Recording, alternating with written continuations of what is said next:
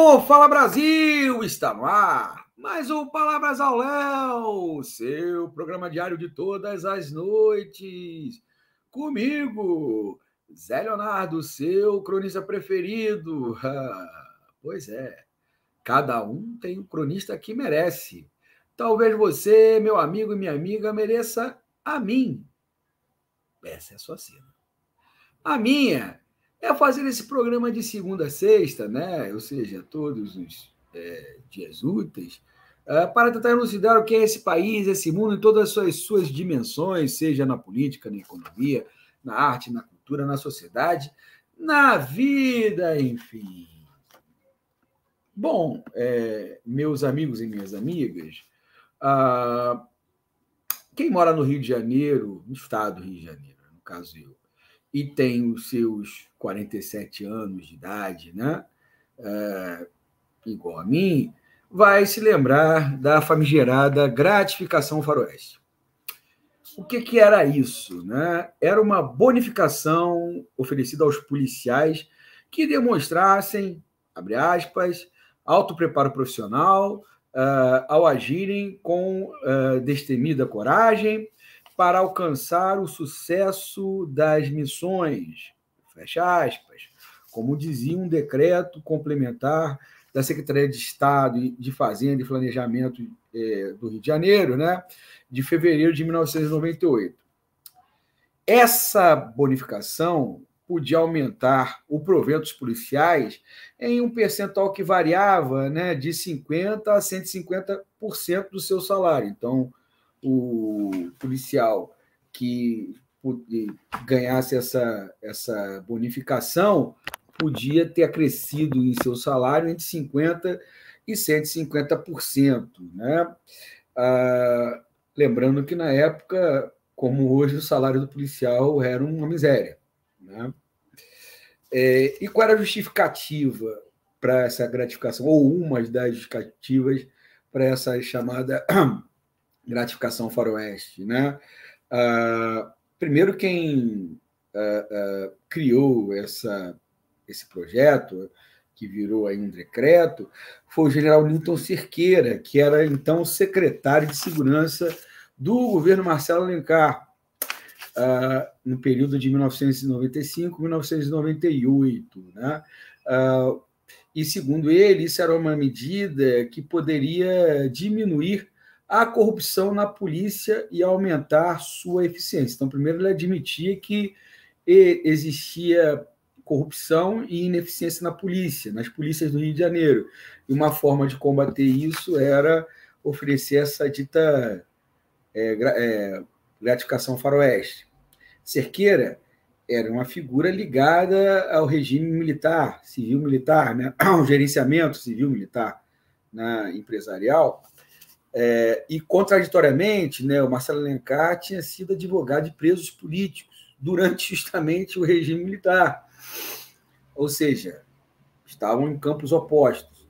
O Newton Cerqueira, inclusive, ele chefiou né, a equipe que executou o capitão Carlos Lamarca, né, um ex-membro do Exército Brasileiro, que desertou o Exército e passou a integrar uh, a luta armada que combateu o, o regime na, naquele momento. Né?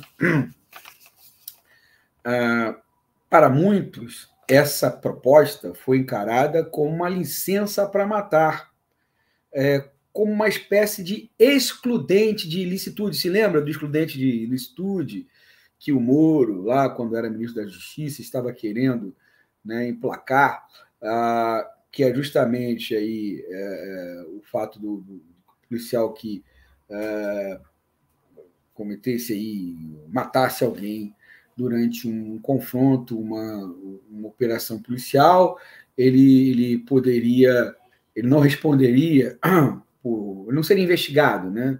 Ah, é, teria esse suposto ilícito ah, não excluído das, da sua ficha, porque ele, entre outras coisas, tá, ele teria motivado sob forte tensão, estresse, alguma coisa nesse sentido aí.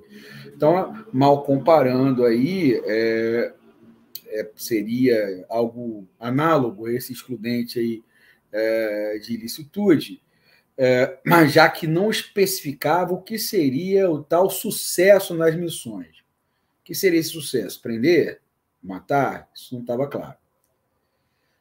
A gratificação faroeste marcou uma inflexão na política de segurança pública implementada até então pela gestão anterior de Leonel, de Leonel Brizola, que era uma gestão aí mais ligada, talvez, a, a uma prática mais dentro dos direitos humanos e que tinha sido bem criticada na época pela, pela imprensa.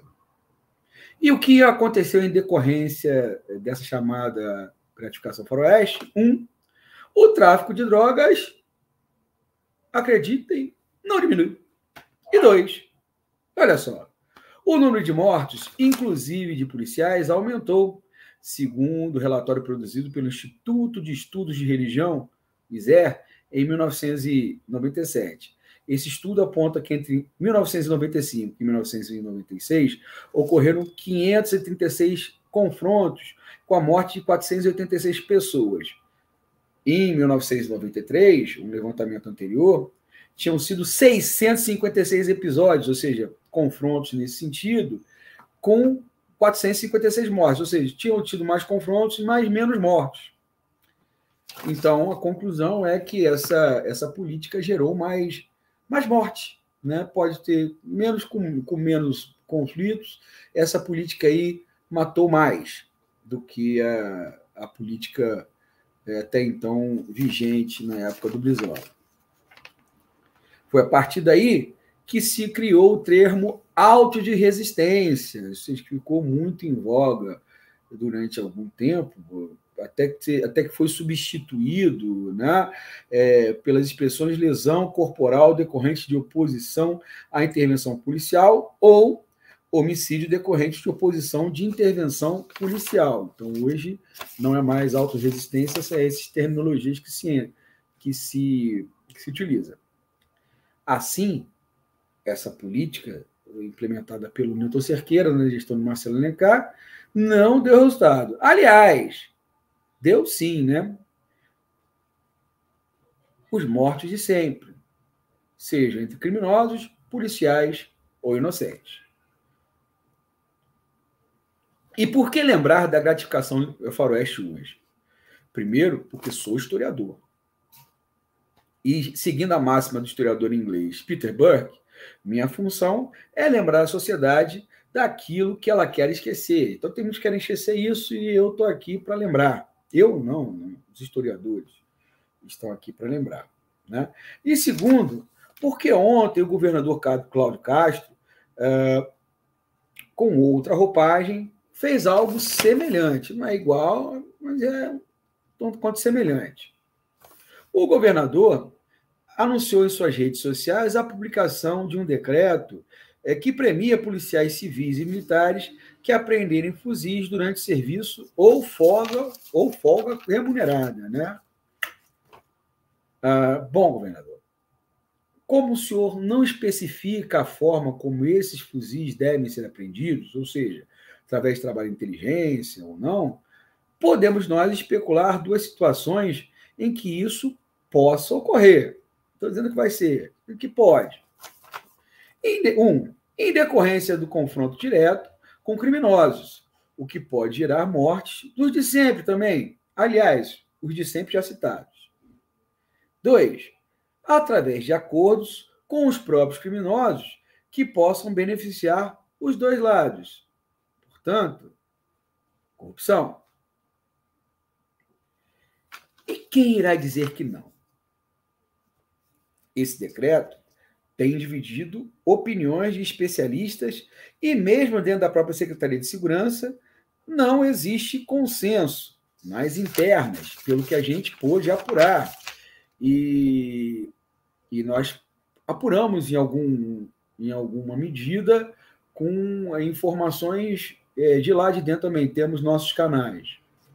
Ah,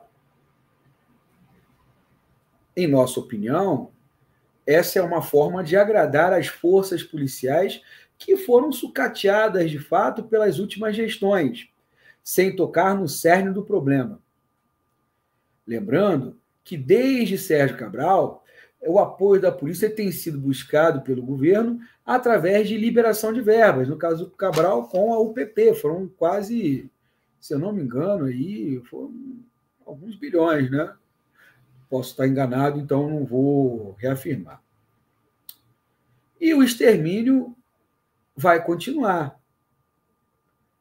E vão morrer os de sempre. Aliás, como morreu ontem o, o jovem, né? Uh, um adolescente, um jovem, né? Brian da Silva Ferreira dos Santos, é, morador de São Gonçalo, no bairro chamado aí Apolo 3, uh, ainda em circunstâncias que estão sendo apuradas, mas certamente vítima dessa violência, não sabemos se policial, mas vítima dessa violência que tem ceifado a vida de jovens pretos, pobres, né? E, enfim, que são os de sempre. E tendo dito isto, meus amigos e minhas amigas, entrego esse abacaxi em vossas mãos para que vocês possam descascar, deglutir e digerir. E até amanhã, pessoal!